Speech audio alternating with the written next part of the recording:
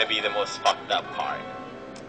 So I'm wearing my tights and my leather spandex. Go back home. It's late. Go back home before your parents find out and ground you. Son of a. Which way is it? I don't fucking know. I gotta say, it's a real pleasure to play this game for you, brothers. It's a, it's a lot of fun. This game, they really nailed it. I hope it like comes out in seasons and, and stuff. That'd be really fucking cool. Oh, hey, little bud. There you Oh, are! shit! We've been looking all over for you. You are grounded, mister.